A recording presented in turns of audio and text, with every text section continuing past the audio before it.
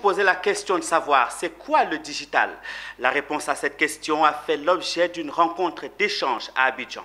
Dénommée Digital 101, c'est une rencontre à mettre à l'actif de la Chambre de commerce américaine en Côte d'Ivoire visant à percer le mur sur la question du digital et ses atouts. Issa Badini et Ismaël Doza nous aident à comprendre davantage la problématique dans ce reportage. Une thématique numérique pour un public tout autant numérique. Autour de la table, des experts de la question digitale, tous des cadres d'entreprise. Avec une question à l'écran, le digital c'est quoi?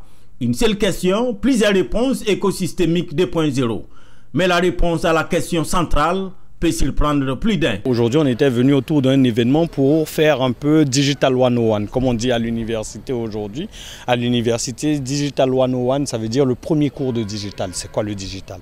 Donc, on était accompagné d'experts autour du digital, donc plusieurs directeurs en charge de la transformation digitale à la CIE, en même temps chez Visa et en même temps on avait une personne de l'État de Côte d'Ivoire en partie, donc en la personne du DGA de la CNAM. À la question euh, pourquoi cette thématique au moment où tout le monde pense cerner la chose, pour Hussein Bensouda, c'est là justement le problème. Quoi le digital Le digital aujourd'hui on l'entend partout. Mais le digital n'est qu'informatique et n'est qu'un outil pour permettre l'accélération des entreprises, des usages et de la manière de fonctionner de tout un chacun.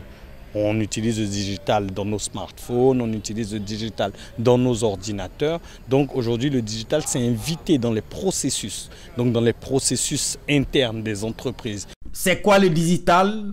Au-delà de cette question centrale de la rencontre, ce sont des retours d'expérience sur la gouvernance, les services financiers, les facteurs du succès en relation avec le digital, tant dans le public que le privé, qui ont meublé les échanges. Quels sont les moyens que l'État se donne? Bon, Bien entendu, il s'agit de mettre en œuvre les conditions hein, d'une digitalisation, donc comme je disais tout à l'heure, les, infrastructures, mais ça commence par des projets structurants, notamment euh, l'identifiant unique digital, qui peut être un accélérateur hein, en termes d'identification biométrique des populations, euh, identification des personnes, de manière à ce que lorsque vous faites une transaction, l'État sait qui vous êtes, vous, vous pouvez également tracer toutes les transactions que vous faites avec l'État.